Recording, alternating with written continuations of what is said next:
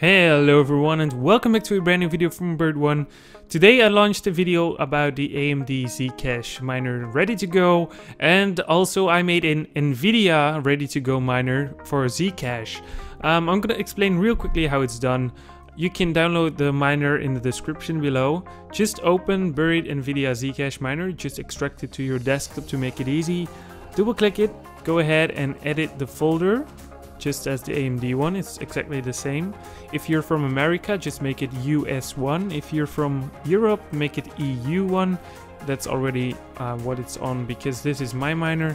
And also, if you're from China, make it CN1 and that's fixed. Next up, you'll have to change your address to yours, of course, because otherwise it will end up in my wallet.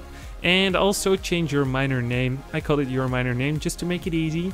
Then file and save it and close it and if you run it just double click it on start miner and you'll be starting to mine Zcash.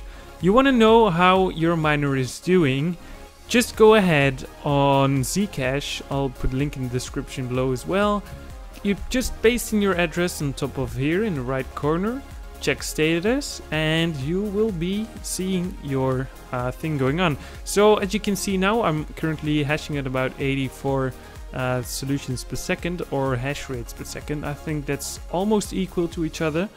And as you can see here, Buried Gamer PC is going on and that was my first test and my Buried Miner is the 4 RX 470s running uh, all day right now. No, they've been starting at about 1750 and they've been running for a couple of hours now.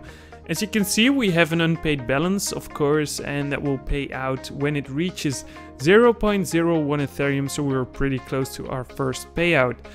Also, I want to talk about how this all worked. Uh, my friend here, Milian, we have been Skyping for a while, and he has a gaming laptop with a GTX 960M and he was able to mine Zcash with his laptop.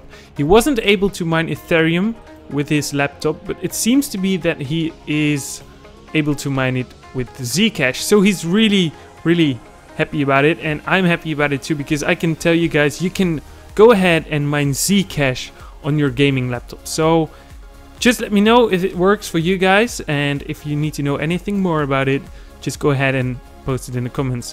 Hope you guys enjoyed the video and I got something new for lazy people. Here we go.